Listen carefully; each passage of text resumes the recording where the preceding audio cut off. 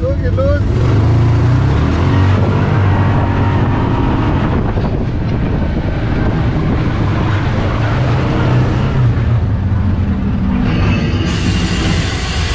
Hey, da fahre ich hier schon fast zwei Jahre quer durch Afrika.